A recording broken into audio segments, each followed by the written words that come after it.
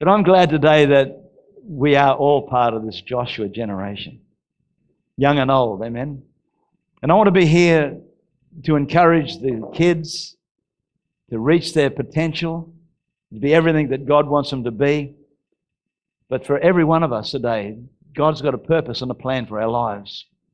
There's a lot of things that have tried to block us out and tried to stop us, but I thank God that the Holy Ghost is still tugging at us. Amen? How many people love the Holy Spirit? Holy Spirit, I'm asking you today to have your way. Exalt the name of Jesus. Exalt Jesus in this house today. That Jesus would touch people's lives. And Lord, that we would come alive in the river. Lord, that the life of the Spirit would flow deep into us again. And for that, we'll give you all the praise and give you all the glory. And everybody said, Amen. You know, we're, we're, it's an interesting thing because this book is an amazing book. Amen. This is an amazing book and it's full of promises and it's full of stories about men and women of old. It talks about revival, it talks about healing, it talks about deliverance. It's the greatest how to book you'll ever find. It'll tell you how to overcome, it'll tell you how to live victorious, it'll tell you how to rule and reign in Jesus Christ. It'll tell you how to live on this planet above every circumstance and every situation. It'll show you how to triumph over the devil, over everything that he throws at you, that that will not stick, but you'll just, it'll just wash off you like water off a duck's back. Amen? And we can learn to win. We can learn to be victorious in Jesus' name. And in this book, in this believing and things like that, there's a gulf, a, a, a tremendous gulf that you and I have all got to cross. It's a gulf that is between reason and revelation. Unfortunately, we've all got this thing that we call a brain. And when we hear of the miracles and when we hear of the things that God has done, our reasoning many times jumps into gear and tries to dismantle it, tries to break it down and say, well, that really didn't happen.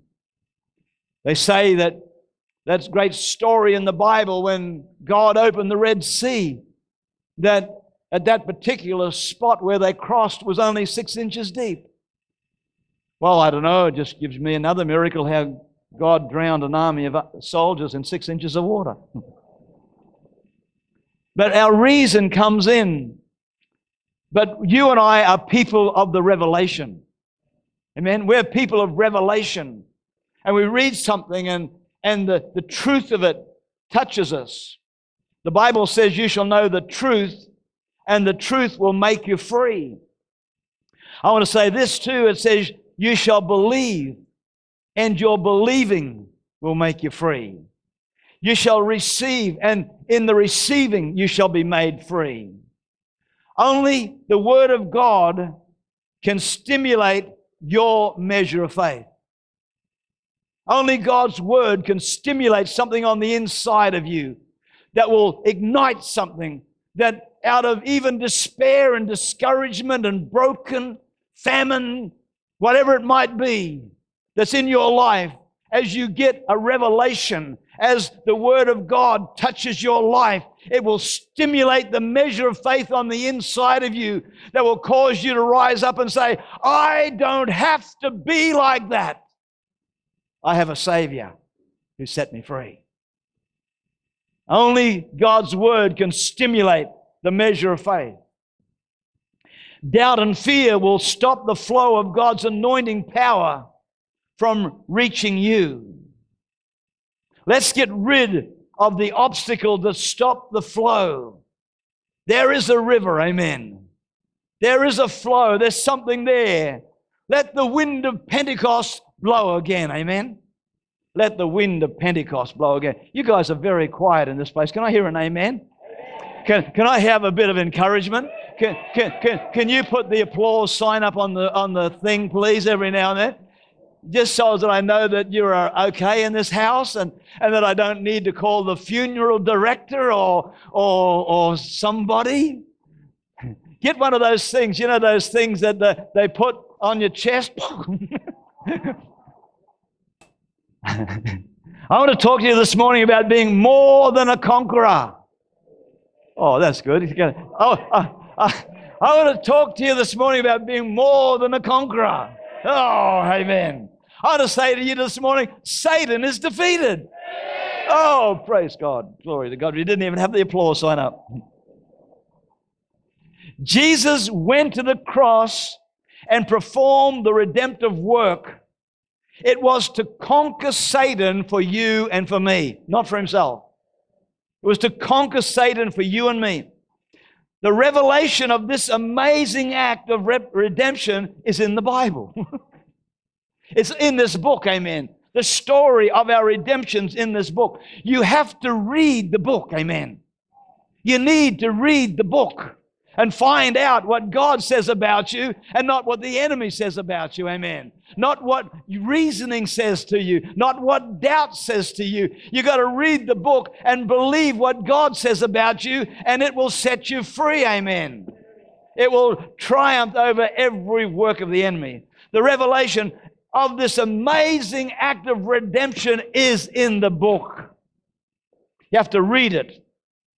I, I believe that it reveals what God has done for us. Jesus, what Jesus won for us in that amazing but terrible hour. As we were coming around the communion, as Mike was sharing the, the horrible, the, the, what Jesus went through to pay for our redemption the price that he paid and, and to be able to come and, and, and stand at the foot of that cross this morning and, and look up into his gaze and, and look into his eyes and see the eyes of joy because the Bible says, for the joy that beset God, he endured the cross. Amen. Yes, there was a crown of thorns upon his head. Yes, there was blood trickling from his body. Yes, his body was smashed. But I want to tell you, friends, there was a smile on his lips and there was a smile coming out of his heart that says, I'm doing it for you. Hallelujah. That you might be free, that you can rule and reign on this earth, not suffer everything that the enemy's done. Read all these things, what Jesus won for us. Jesus died to conquer Satan for you and me. Paul gave this revelations in Ephesians chapter 1. And we're going to read some of this stuff because it's revelation and it's real. And as you read this revelation, and we know it only so well, but I want to tell you, friends, we need to read this passage many, many times. We need to read it and read it and read it. Therefore, so it says in 1 and 15, I also, after I heard of your faith in the Lord Jesus and your love for all the saints, do not cease to give thanks for you, making mention of you in my prayers that the God of our Lord Jesus Christ, the Father of glory, may give to you the spirit of wisdom and revelation in the knowledge of Him. Friend, if ever there's an hour, we need the revelation knowledge of our Lord and Savior and what He did. Amen. He is not this gentle Jesus, meek and mild. He is a mighty warrior. When he comes back, he's not just coming back as a little baby, but he's coming back as a King of kings and the Lord of lords. Amen. He's coming back as a champion of champions. He's coming back with a sword in his hand. Hallelujah. And he's going to come back with a voice that's going to shout, Come, follow me. Hallelujah. I'm going to lead you into the greatest battle you've ever been in. A battle that we win. That we might know him that we might know him and the power of his resurrection. Amen. To know Jesus, friends, to know who he really is, to know this God. Man, there's so many stories and so many pictures and so many songs, but friends, he is a champion of champions. Amen. The eyes of your understanding being enlightened, that you may know what is the hope of his calling and what are the riches of the glory of his inheritance in the saints and listen to this, friend. And what is the exceeding greatness of his power towards us who believe?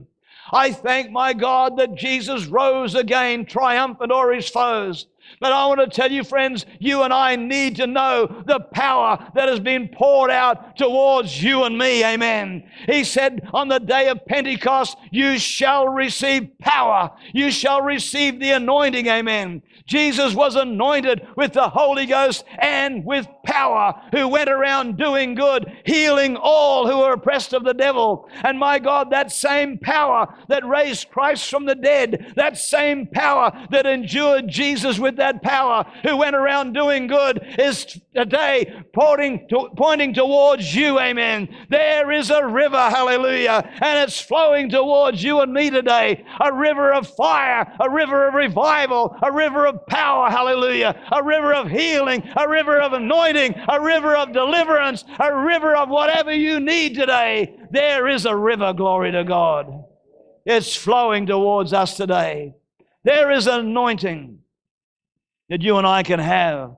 What is this exceeding greatness? What is this exceeding greatness of his power towards us who believe according to the working of his mighty power? Everybody say mighty power which he worked in Christ when he raised him from the dead and seated him at his own right hand in heavenly places, far above principalities and powers and might and dominion. And every name that is named, not only in this age, but also in that which is to come. And he put all things under his feet and gave him to be head over all things to the church. Amen. Jesus, you are the head of this church. Hallelujah. We serve a risen Savior who's in the world today. Above him, there's no other. Hallelujah. Jesus is the only way. Glory to God. Man. Is it okay to get a little bit excited here? Jesus, the Christ, defeated Satan and he rose again and was lifted far above all principalities and demonic realm. Ephesians 2 6 says, that he was raised up to, has raised us up together with him in heavenly places in Christ Jesus. Today, you and I are in him. His victory is in us. Colossians 2:15. Jesus Christ has spoiled, everybody say spoiled, principalities and powers and made a show of them openly, triumphing over them in it in the cross. Jesus made a show of him openly. He triumphed over him. He, he wears the victor's crown. he wears the victor's crown. I want you to have a look with me in the book of Romans, chapter 8. What an amazing thing. Friend, the book tells you the answer. The book shows you what to do. It tells you what to say. And it's, and it's an amazing scripture here. It says in verse 31 What then shall we say to these things? These things that come against us, these things that, that try to pull us out. What are we going to say? Come on in. Come on in, devil. I really feel, I really enjoy being depressed. Come on in. Friend, many Christians, that's what happens. Come on in. I enjoy feeling sick. I get a lot of sympathy. I get benefits.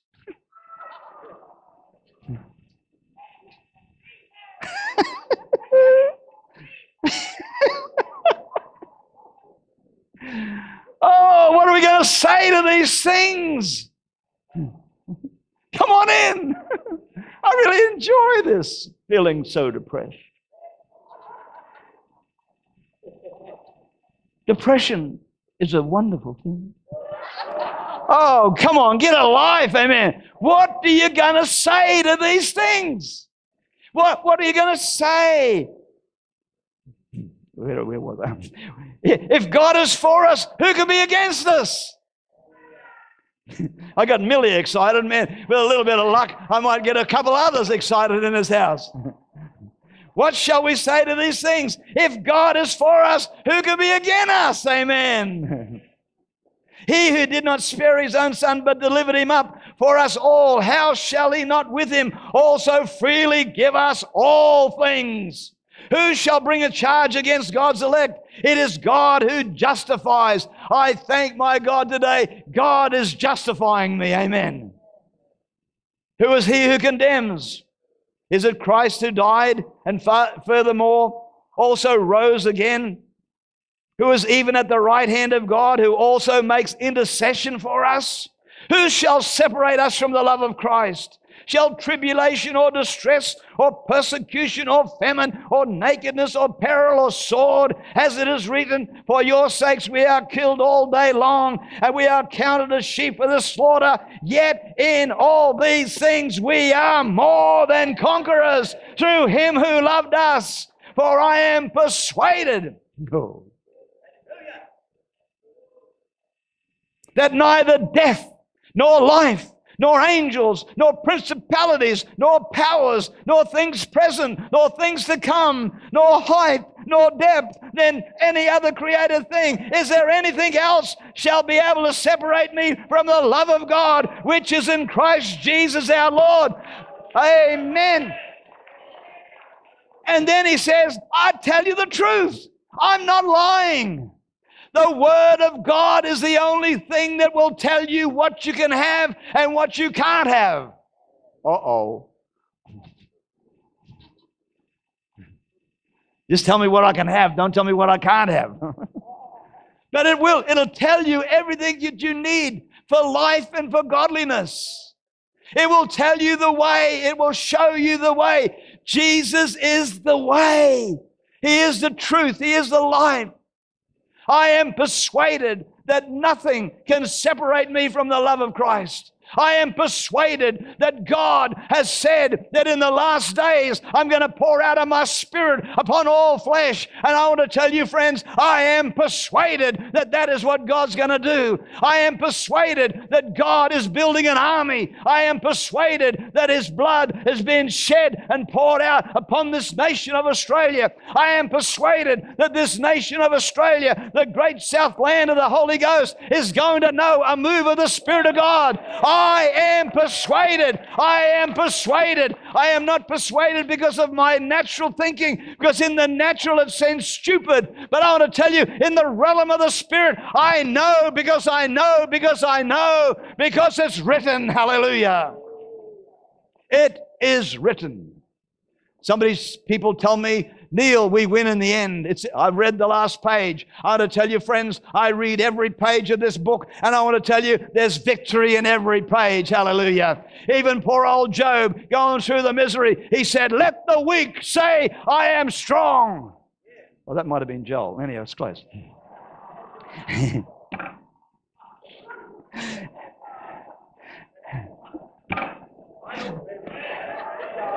oh, glory to God.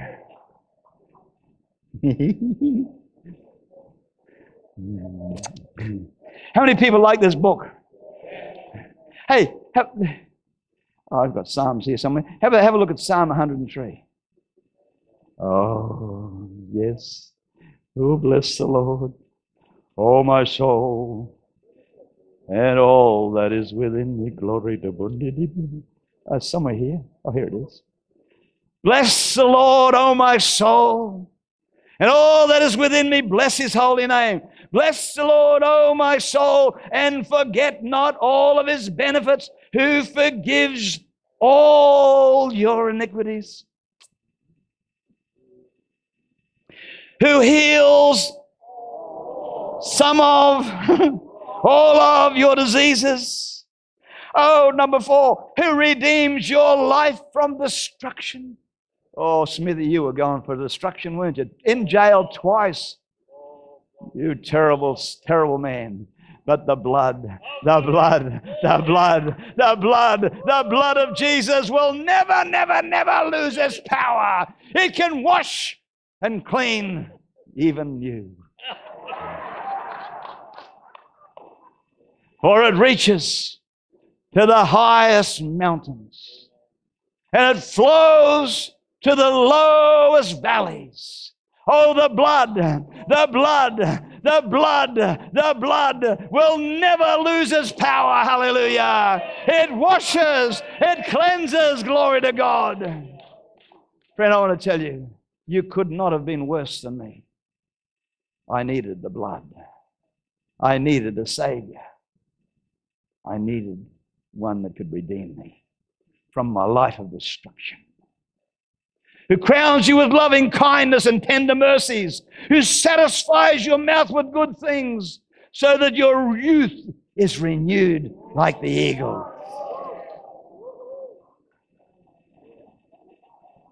I could have an altar call on that right now in this church. For it reaches to the highest mountains. Oh, what an amazing, amazing past. It says here in verse uh, 11, as the heavens are high above the earth, so great is his mercy towards those who fear him. As far as the east is from the west, so far, he has removed our transgressions from us. Phil, where's east? That's east. I wouldn't have a clue. I can guarantee I can any east. That's east. They're all east to me. that way.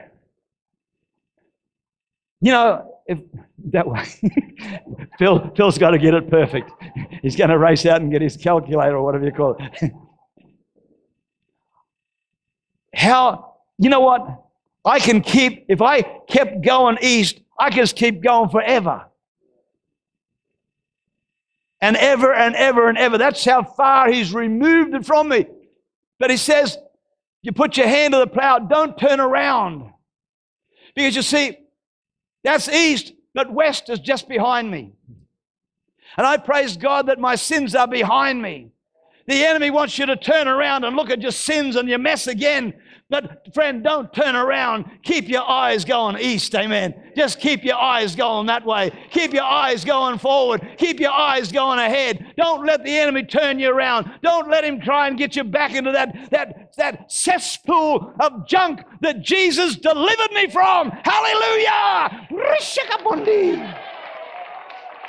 I am redeemed. Hallelujah by the blood of the Lamb. Oh, we got this church going now. Glory. What an amazing, amazing thing. As far as the east is from the west. Yet Psalm 78 41 says, Yes, again and again they tempted God and they limited the Holy One of Israel. Friend, I want to tell you there is a great gulf between reason and revelation. There's a great gulf between how you feel and what God says about you. And the enemy wants you to turn around and look at yourself. And there's times, friends, and I want to say many, many times where the enemy tries to get you to go back and think and see how horrible and how messed up you were. But again and again, my Savior is making intercession for me. He's standing there beside his Father. They're saying, Look at him. He's having a go. Somebody once said to me, and now it's indelibly printed in my mind two minutes of embarrassment may save a life from eternity. And some people, they think I'm too shy or I'm too embarrassed to talk about Jesus or to say something. Two minutes embarrassment may save a life from eternity. And friend, for that reason, I will become a fool for Jesus Christ. I will jump on chairs. I will spit. I will shout. I will jump. I will run. I, I ran around this church with that walker the other day, glory. Whatever it takes, while I've got breath, I will praise Him. While I've got breath, I will do whatever I can for the King of Kings because He's so amazingly wonderful. Amen. Don't tempt the Lord your God. The Lord is my shepherd. I will not fear. I will not fear, for you are with me, Jesus. Joel Sorry, wasn't poor old Job. Let the weak say I'm strong. Let the poor say I'm rich. He has given us hundreds of promises that we might receive them. Amen. Don't let doubt, don't let your brain.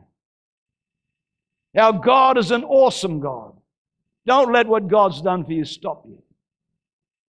In the Old Testament, the Old Covenant, there was a city besieged.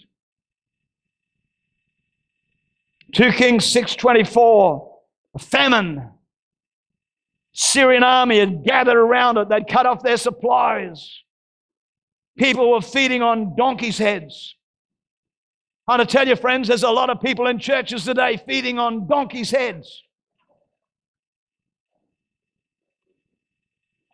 Tell you the promises of God are not for today.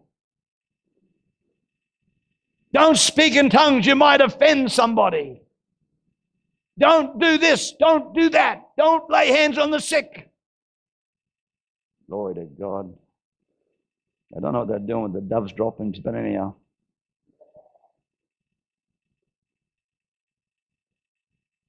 Miracles are over. The Holy Spirit's not allowed in church. He might offend somebody. Told you about my mother. I spoke in tongues. I didn't want anybody to talk in tongues. Somebody spoke in tongues as loud as I've ever heard.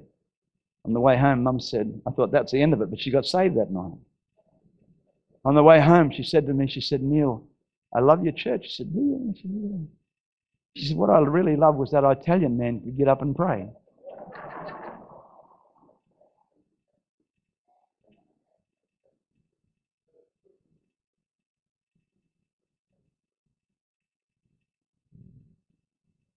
People were eating their babies.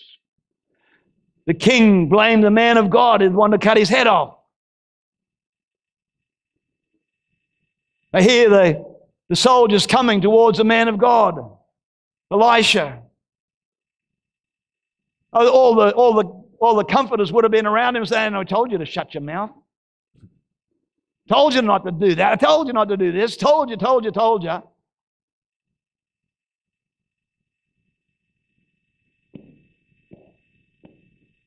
Come to cut his head off. He really could have got discouraged. he really could have got very disappointed. Could have thought, that's it. They're going to chop my head off. But instead of that, hmm, friend, he said, Hear the word of the Lord. Turn to somebody and say, Hear the word of the Lord. Hear the word of the Lord. Tomorrow, about this time, barley and flour will be sold to the gate for a shekel. But the doubters said, God would have to open the windows of heaven for such a thing to happen. You know what blesses me? When God moves, sometimes, many times, He uses the most unlikely. He wasn't looking for the great orator. Stood there with his robe across his shoulders and, oh, praise God. You like this dance? if, I, if I stood here long enough, I could put a bit of water and I could make a fountain out of me.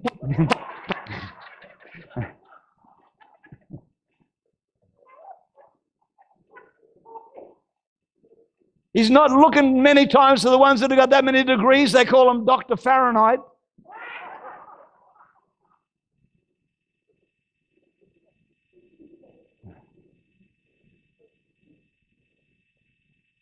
The Holy Ghost fell on four leprous men. Lift up your hands. Say, Fall on me, Lord. Fall on me, Lord. Come on, touch me again. Touch me again. Fall on me, Lord. Oh, let me be that one, Lord, that hears the voice, that feels that anointing power coming upon us. By the anointing, Jesus breaks the yoke. Hear the word of the Lord. And I want to say this, friend, I believe this. As I was preparing this message, I felt as I wrote this, these, this word, hear the word of the Lord, and I, and I wrote down here, change is about to happen. Hear the word of the Lord, church. Change is about to happen. Amen. Hear the word of the Lord, Sunshine Coast. Change is about to happen. Hallelujah. Hear the word of the Lord. Change is about to happen. Amen. Bring it on, Lord. Change is about to happen.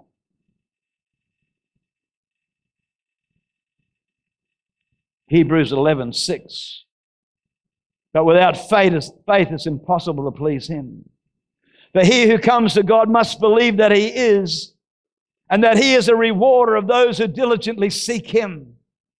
I to tell you, I, be, I believe that God's about to reward, He's about to pour out of His Spirit. Bless the Lord, O my soul, and all that is within me. Bless His holy name. Lord, pour out your Spirit upon us. Must believe that He is. Jesus has won the battle for us. Jesus wears the victor's crown. He has triumphed over sin, hell, and death. You believe that today? If you're here in this house today and you don't know Jesus, you've never ever met him.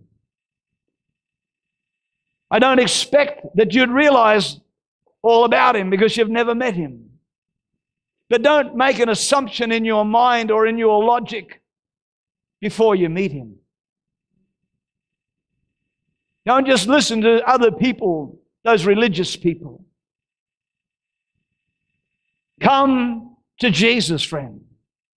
Give him your life today. If you're being hurt or broken, discouraged, disappointed, feeling rejected, whatever it might be, give Him your life today. Come to Jesus again and surrender to Him. Call upon Him while He may be found. Come unto Jesus. I want to ask you to bow your heads with me. Lord Jesus, touch today. If you're in this house today and you've never ever received Jesus Christ as your Lord and Savior, if you're in this house today and you know if you've drifted away from that old rugged cross and your life has caused destruction, He wants to deliver your life from destruction. You might be self destructing. Come to Jesus. Give Him your life today. If you're not sure where you stand with God today, just come to Jesus and give Him your life today. You're in this house today and you're not sure where you stand, or you've never given your life to Jesus, or if you've gone astray, but you want to come back to Him, would you today acknowledge your need for Christ? Say, I need a Savior.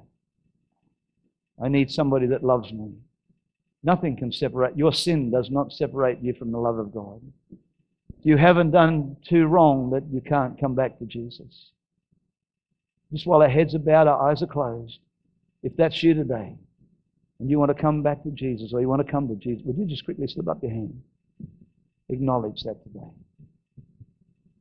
If that's you today, would you slip up? Good on you, man. Good on you, son. Good on you. Just stand to your feet. Come out here. I want to shake you. Come on. I'll come over to you then. Is there anybody else? I'm Just aware this morning that there's a lot of people here this morning and you just want that fresh touch. I see people being in like a desert, dry. I'm even, right now, my mouth's all gone dry. I'm sensing that dryness. Yet inside you, there's been that wanting, wanting water, wanting, wanting, wanting, wanting water, wanting. I've got news for you today that there is a river. It's flowing into that desert right now. And in that desert, the flowers will bloom and you'll blossom again. We're just going to stand to our feet. Those ones like that, Linda, we're going to pray with you again. Just come this morning. You, you know who you are. You've been like in a desert. And you want that fresh river to flow through you again. Flow through you. Can I say this? We sing a song here, and I'm not asking them to sing it now, but I think we sing a song here.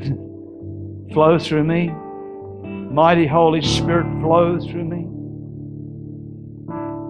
Right? You know, you don't have anything because you ask not. Ask of me. Ask, and you shall receive. Just come today and ask Him to touch you. Fill me afresh with your mighty Holy Spirit.